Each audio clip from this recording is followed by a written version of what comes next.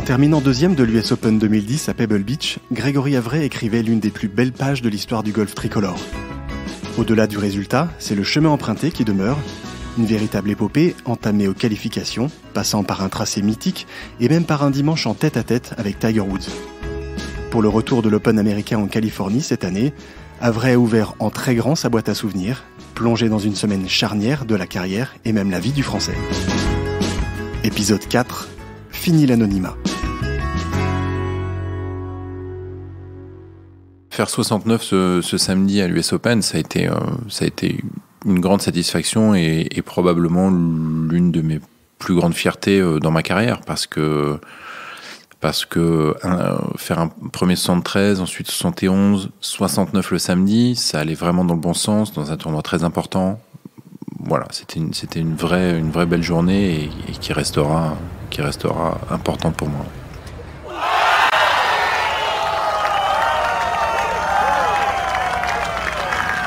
Oui, je me souviens bien de ce chip au, au 14 qui rentre. Et c'est vrai qu'il y a parfois certains tournants dans les parties. Et, là, c'est un T1. Et heureusement qu'il rentre parce qu'il euh, allait probablement 3-4 mètres derrière le trou. Et sur une green un peu en descente, qui est euh, probablement l'un des plus compliqués, voire le plus compliqué du parcours, parce qu'il euh, y a très peu d'endroits où on peut mettre le drapeau tellement il y a de pente. Par 5 assez, euh, assez embêtant.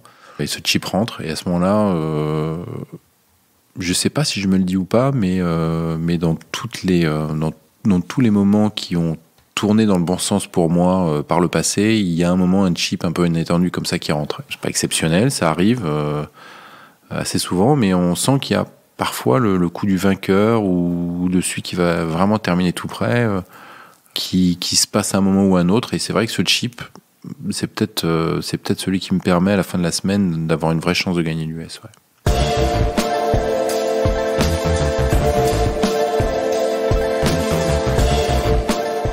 Un moving day euh, de tournoi majeur, faire euh, améliorer encore une fois le, score, à ce moment-là, c'était, euh, c'était, j'en étais fier, j'en étais très content parce que parce qu'il fallait le faire. Et puis, oui, en termes de, en termes de, dans, ma carrière de, de bonne partie, il y a quelques scores référents. Celui-là en fait partie. Ouais, c'est une partie dont je me rappelle pas énormément de coups, mais euh, je me rappelle plus de l'attitude, de la sérénité, de la.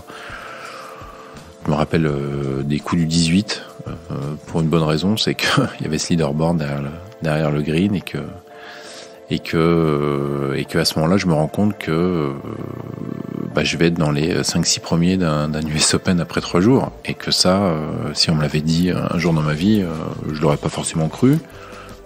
Cas, sûrement pas, sûrement pas quelques jours plus tôt.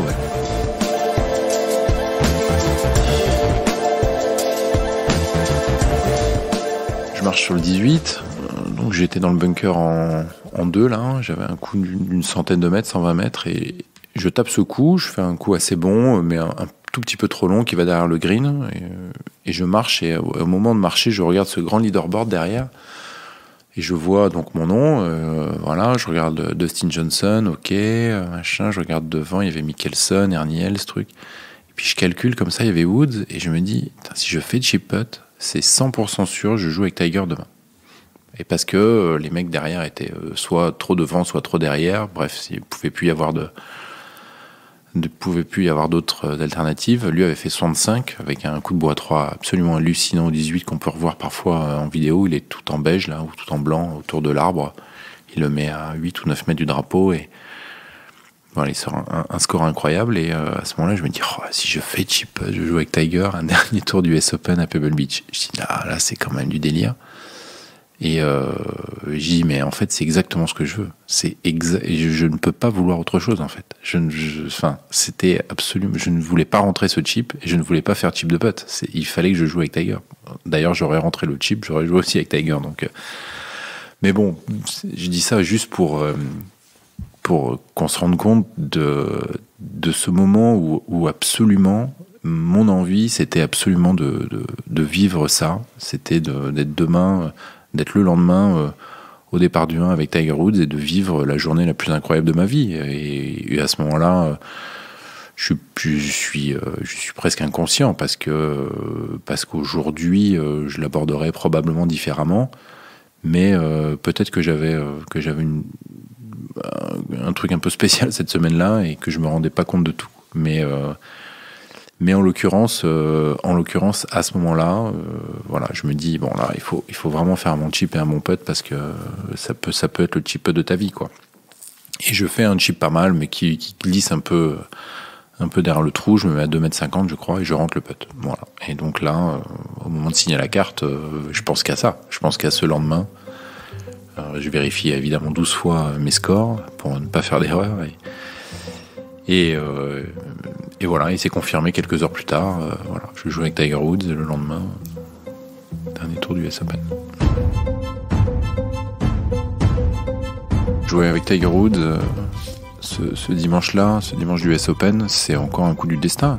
Ouais, parce que le, destin m'a quand même euh, m'a filé plein de bons coups de main, que ça soit ma, enfin, ma vie, tout simplement.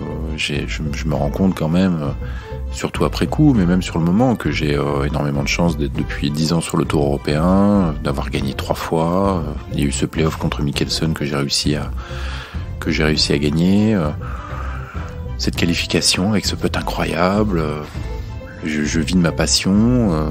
bref, bref, la vie est belle et et elle continue d'être belle parce que parce que oui, parce que oui, demain je vais jouer je vais jouer avec Tiger. Et, euh, mais, mais bon, tu te le dis pas sur le moment. Tu, tu, tu, es juste là à, vouloir faire, encore une fois, euh, ton job de la meilleure des manières possibles. Et tu as aussi conscience que tu joues bien au golf et qu'il euh, y a quelque chose à faire.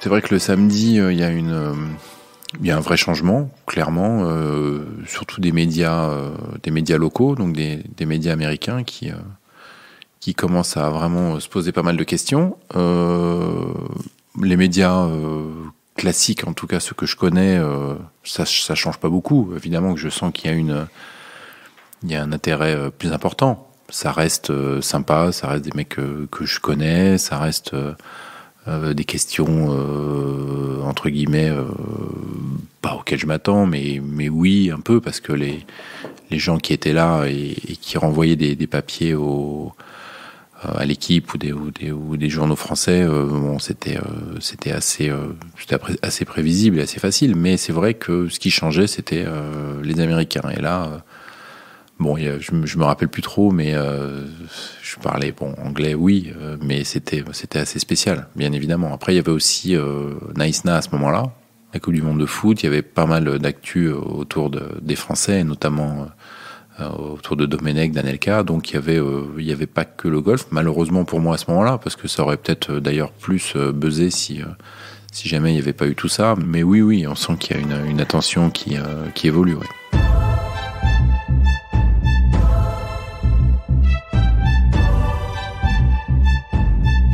Le soir, on fait notre, notre dîner entre copains comme d'habitude. On parle de golf euh, sans plus, mais quand même, en mode un peu, un peu qu'est-ce qui se passe là euh, Greg, tu qu'est-ce qui, va se passer demain Avec Jeff, avec, avec JD, avec, les parents, mais, euh, mais c'est pas du tout lourd, c'est pas du tout pesant.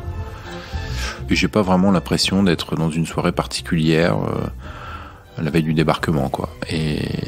Et, et, ça m'a probablement aidé à être, à être assez serein, mais c'est vrai que c'était un peu la, ligne directrice de la semaine.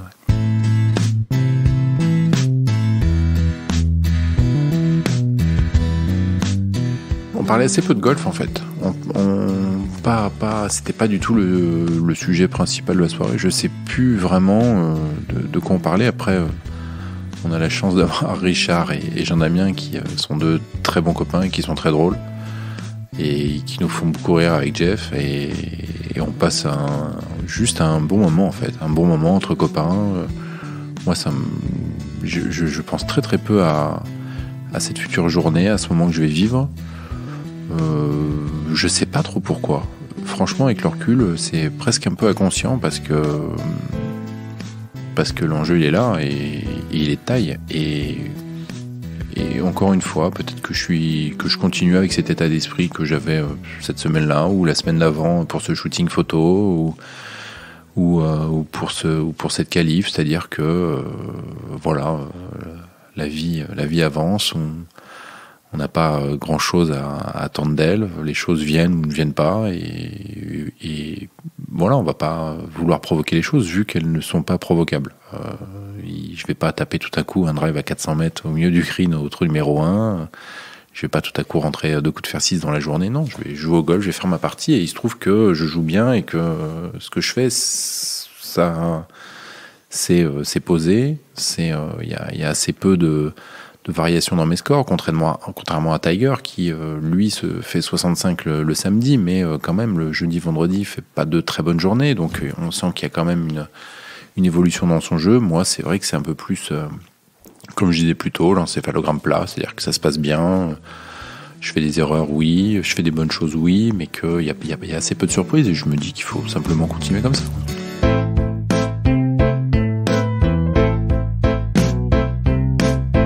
À ce moment-là, non, la victoire, euh, j'y pense pas du tout. Elle n'est pas franchement envisageable parce que Dustin Johnson a, pour moi, tout simplement trop d'avance. Euh, il a déjà gagné deux fois à Pebble Beach, euh, un parcours donc qu'il connaît et qu'il apprécie particulièrement.